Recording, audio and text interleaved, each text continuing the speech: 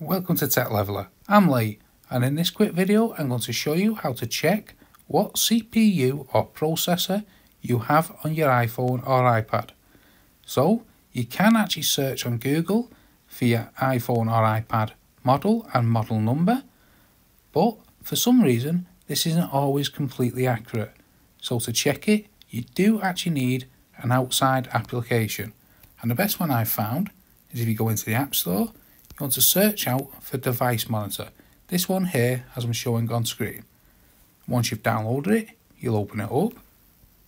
It will ask you to start running the monitor. You simply just press yes.